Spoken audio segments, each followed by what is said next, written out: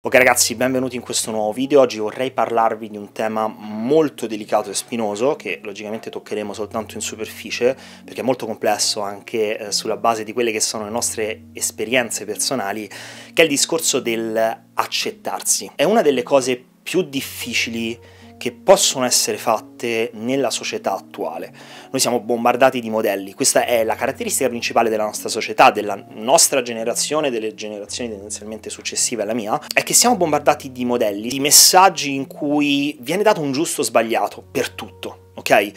um, c'è sempre un giudizio di sottofondo che viene fatto in maniera diretta o indiretta attraverso quelli che sono principalmente i social, le pubblicità, qualsiasi cosa, i film, c'è sempre un giudizio, meno male che viene dato. Quindi noi cerchiamo sempre di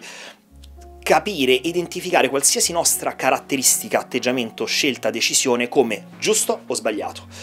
E questo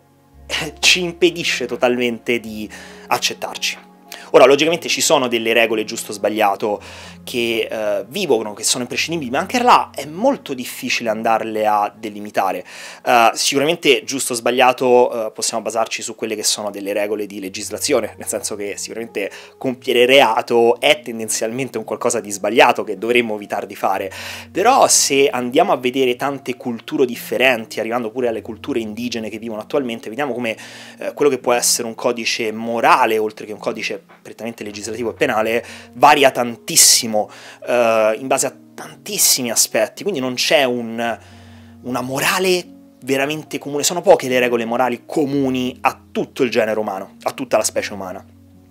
Pensiamo alla monogamia, la monogamia non è un qualcosa di accettato in tutte le culture, anzi tendenzialmente è un qualcosa di antifisiologico, e lo dice una persona sposata e felicemente sposata, però è un qualcosa di antifisiologico per uh, l'Homo sapiens in generale. E è un'imposizione più che altro culturale che deriva soprattutto da interessi economici, se vogliamo, perché il matrimonio in fin dei conti nasce per questo. Poi è stato tutto creato la corrente romantica, i romanzi sui cavalieri e via discorrendo, però tendenzialmente ovviamente c'erano interessi economici di base. Ora, eh, perché è importante capire questo? Perché da quando noi eh, nasciamo realmente inevitabilmente abbiamo dei giudizi di giusto o sbagliato, nel senso che ci viene detto che un certo atteggiamento può essere giusto o sbagliato. E secondo me questo è un errore eh, molto importante che viene fatto, viene fatto dai genitori, viene fatto dalle insegnanti in generale, che su certi individui può essere molto molto penetrante. Vi faccio il mio esempio personale, io uh, ho avuto i miei genitori che mi hanno sempre incentivato a fare qualsiasi cosa mi passasse per la testa, qualsiasi. Quindi io appena avevo un'idea, un qualcosa che volevo fare, che era il nuoto, che era suonare la chitarra, che era fare musica in generale, uh, quindi andare a fare concerti in giro e tutto il resto, che era fare tiro con l'arco, qualsiasi attività, qualsiasi cosa mi passasse realmente per la testa, i miei erano i primi a muovere i passi per incentivarmi. Però però, per come sono fatto io, una delle mie caratteristiche è che può essere che l'abbiate notato, però quando faccio un qualcosa, per come sono fatto io, devo farlo in maniera molto molto penetrante, devo buttarmici a fondo, perché è il mio modo di dare un senso a quel che faccio. Quindi io non riesco ad avere un hobby, una passione fatta tanto per fare, ma non è che sia una cosa giusta o sbagliata, è che io semplicemente non riesco a concretizzare un qualcosa se non gli do un senso, che non deve essere logicamente un senso economico, ma deve essere un senso proprio a livello di progettualità, quindi dare un progetto che può essere aprire un canale YouTube in cui faccio, ecco se io mi metterò in futuro, cosa che spero di fare, a dedicarmi al videomaking, alla fotografia, sicuramente aprirò una pagina Instagram per la fotografia, un canale YouTube per fare b-roll, videomaking, magari in viaggio e cose del genere, in cui non cerco un ritorno economico, ma devo dare un senso, non faccio cose per tenermene il mio computer e fine, lo faccio perché voglio creare un progetto. E questa è una cosa che mi è stato insegnato a essere sbagliata quando esageravo, nel senso che ok, quando mi vedevano che ero chiuso magari tutto il giorno a comporre o stavo in studio tutto il giorno, era ok, stai esagerando, non va bene questa cosa. Quindi questo mi faceva maturare un senso del sentirmi in colpa quando esageravo, mi buttavo troppo a capofitto eh, nelle cose. E realmente non è così, perché io sono fatto così, non è un qualcosa di giusto o sbagliato, è un qualcosa che semplicemente va assecondato. E quindi col tempo eh, non ho avuto realmente difficoltà in questo, perché sono sempre stato abbastanza ostinato e capoccione sulle mie, però è semplicemente un qualcosa che ho accettato. Io sono così, non devo sentirmi a disagio perché eh, sono fatto in questo modo. Al contempo, quante volte capita che viene dato un giudizio a noi stessi e noi a quel punto ci sentiamo vincolati a questa aspettativa, nel senso viene detto no ma lui è bravissimo a scuola, studia tantissimo, è bravissimo in questa materia. Io avevo un compagno di classe che era veramente molto molto bravo a scuola, sapete tipico secchione, però era un sacco alla mano, ci ho sentito un sacco amicizia e mi ricordo accadde che era veramente una spada, cioè aveva, sapete quelle persone in cui vanno benissimo in tutto quanto, eccetera, e i genitori lo esaltavano tanto per questa cosa e capitò, mi ricordo ancora, una volta in cui avevano già fatto gli scrutini. Sapete alle medie come funziona che uh, fanno gli scrutini un po' prima della fine dell'anno scolastico, quindi tutto quello che succede dopo ormai hanno fatto gli scrutini, hanno dato i voti e fine. E mi ricordo che assegnarono un compito così all'ultimo e per qualche ragione lui non lo fece e capitò che l'insegnante interrogò lui proprio perché dice vabbè nessuno l'ha fatto, è chiaro che nessuno l'ha fatto, chiedo ad Andrea perché Andrea sicuramente l'ha fatto e lui non l'aveva fatto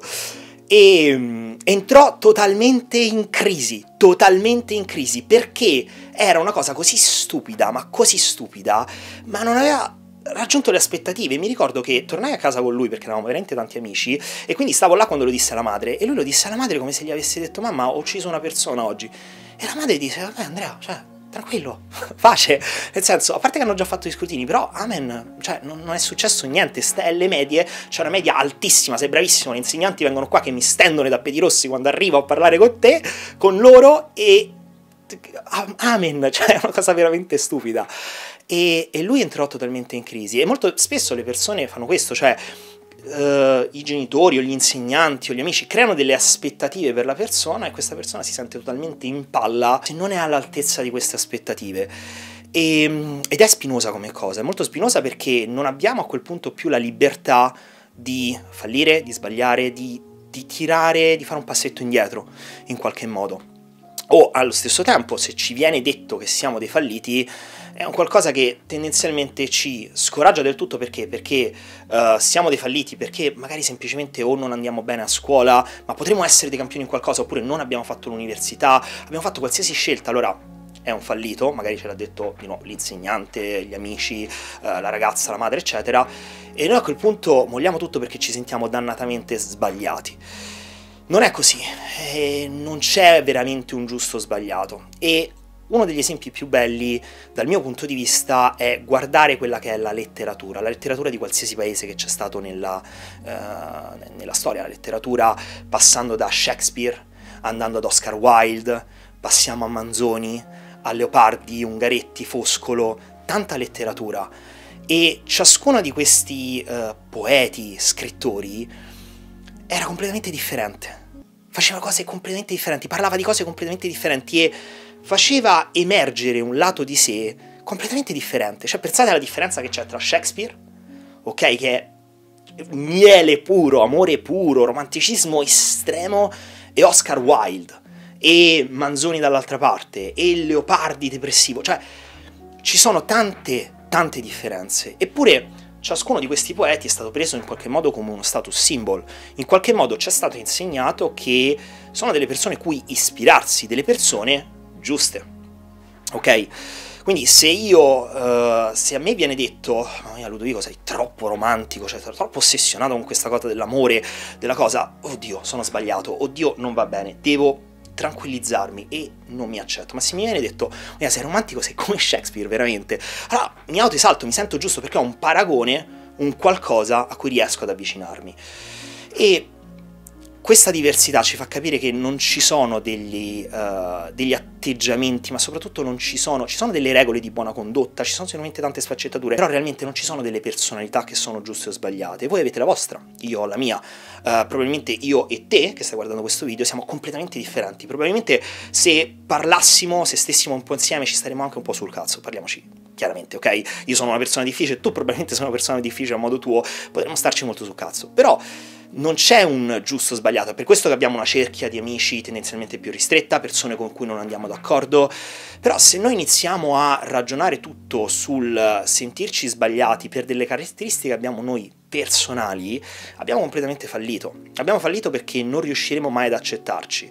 Ricordate che la cosa più preziosa che voi avete è la vostra interindividualità, perché nessuno è come voi. Avete delle caratteristiche, avete su voi soltanto e avete il dovere di mantenerle, il dovere di esaltarle, il dovere di portarle avanti, perché è quello che crea così tanta diversità nel mondo, è quello che sta facendo andare avanti il genere umano, che ci sono elementi completamente differenti, che portano idee differenti e c'è un confronto, una connessione continua, perché se fossimo tutti dei robot finiremmo come la Corea del Nord, finiremmo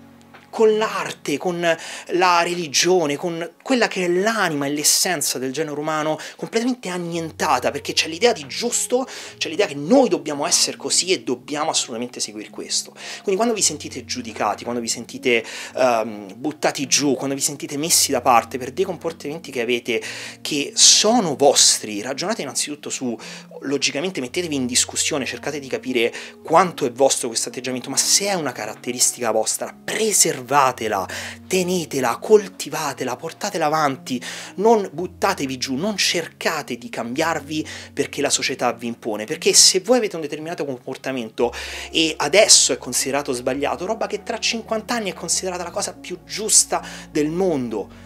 e non è giusto allora distruggervi, non è giusto soffocarvi in questo senso, dovete cercare di portarvi avanti e di preservarvi il più possibile. Dovete conoscervi, dovete conoscervi, imparare a farlo, imparare ad accettarvi, imparare ad amare ogni parte di voi.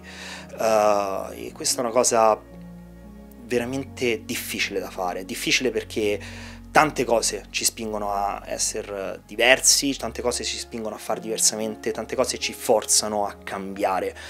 uh, ad amalgamarci alla massa e, e, questo confronto continuo che abbiamo, fittizio, un confronto fittizio perché le persone giudicano, le persone insultano, le persone sono frustrate tendenzialmente